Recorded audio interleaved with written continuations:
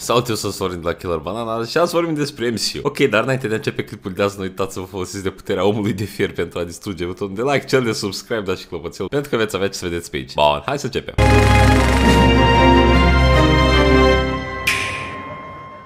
So, MCU Phase 4 va începe odată cu Black Widow și în același timp vom avea și The Eternals tot anul acesta. Dar o întrebare rămâne așa, ce se va întâmpla cu celelalte personaje din MCU? Știm că după Endgame, Iron Man s-a sacrificat pentru binele omenirii, înfrângându-l așadar pe Thanos și punând capăt și primei povești Marvel începute acum mai bine de 10 ani. Bine, știm despre Iron Man că teoretic a murit în, în MCU. Practic, în schimb, Kevin Feige a spus că nu e exclus ca Iron Man să se întoarcă pentru viitoare proiecte, adică poate nu va mai avea un rol așa de important în MCU, dar în același timp asta, moartea sa nu înseamnă că a dispărut complet din MCU, deci sunt șanse să-l mai vedem, mai ales în poveștile în care îl implică într-un mod direct pe el. Cine știe, poate în Spider-Man, I don't know, poate în în Avengers chiar, dacă vor mai face New Avengers sau ceva.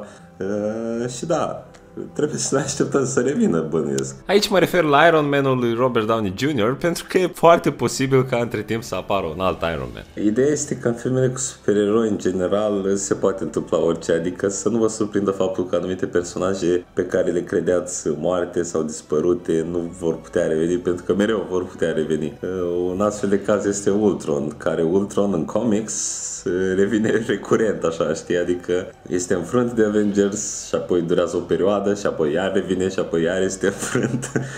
și chestia asta se întâmplă și la supereroi. Se mai întâmplă, unii mai mor, dar revin la un moment dat. Se găsește o soluție pentru ca ei să revină. Bine, acum, na, în film e altceva, pentru că aici vorbim de actori și actorul, dacă la un moment dat vrea să renunțe complet la rol, renunță și trebuie să te gândești cum ar putea, cum ai putea să înlocuiești pe actor.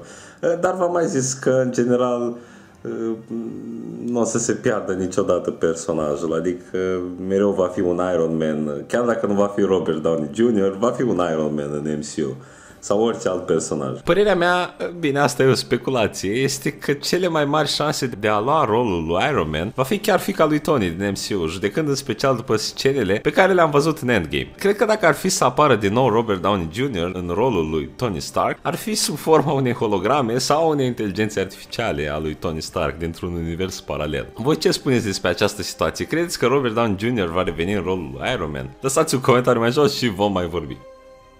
Adaugă un comentariu public. Mă pui și pe mine video, please! Dacă nu mă bagi la final, îți voi exploda toate bananele, muahaha! Pune-mă în video, că dacă nu ești o banană șerpuit. Continuă tot așa, mă pui la final?